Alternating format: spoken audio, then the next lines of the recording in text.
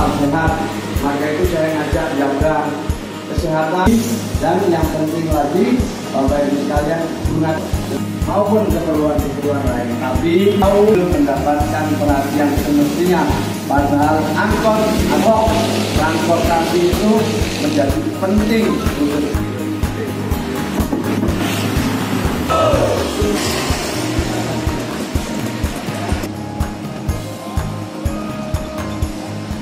Ya angkutan-angkutan umum ini harus ada untuk melayani kebutuhan warga.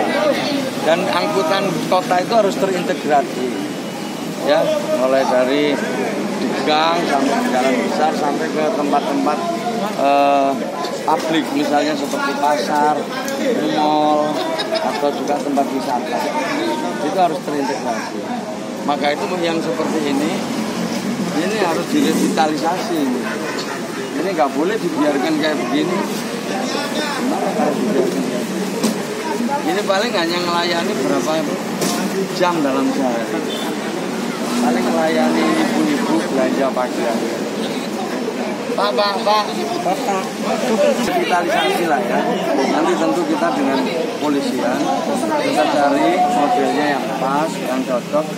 Jadi dia bisa untuk wisata, tapi bisa untuk umum juga, bisa untuk pelajar. Nah, dengan begitu dia bisa melayani kapan Pak, mohon maaf jenengan sehari beroperasi berapa jam? Yang mana penumpang ini? jam 6 sampai jam 4 Pak Sore. sore. Yang rame Yang ramai jam anak sekolah Pak. anak sekolah. Saat pagi sama pulang. Hmm, terus? Terus kalau pagi sama siang itu aja. Jam 4 Untuk itu masih sepi. melayani bakul, Iya jam 12 itu pada pulang semua. Bakul-bakul itu Pak. pagi nggak melayani bakul kan? Ya, ya apa ya? Enggak pati banyak Pak.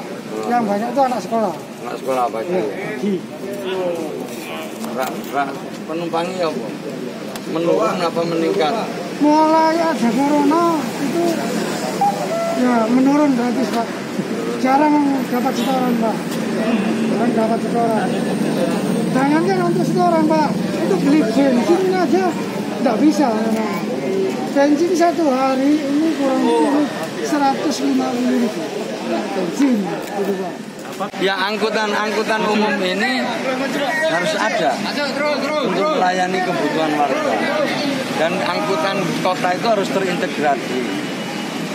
Mulai dari di gang sampai jalan besar sampai ke tempat-tempat eh, publik misalnya seperti pasar, mall atau juga tempat wisata.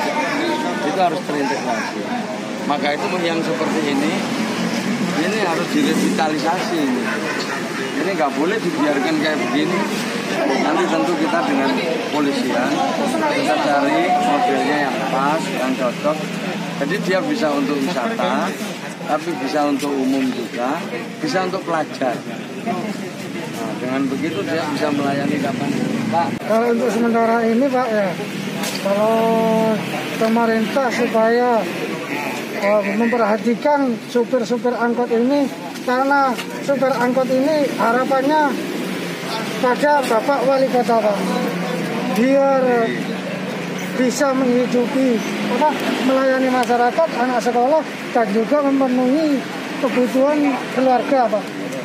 Bisa membayar sekolah untuk kebutuhan setiap hari Pak. Berkembang di kota Pasuruan dunia online sama dunia on offline untuk transportasi. Jadi yang online harus jalan yang offline juga harus angkotnya didigitalisasi. Ya angkotnya nanti kita lihat ada yang didigitalisasi atau enggak. Kita lihat kita lihat kebutuhannya tetapi yang paling yang paling penting itu ada layanan yang jamnya itu jelas jamnya jelas durasinya jelas jadi setiap berapa jam dia Nah, jadi orang bisa memperkirakan, oh saya nanti ada jam sekian, jam sekian, jam sekian gitu. Jadi jamnya tepat waktu.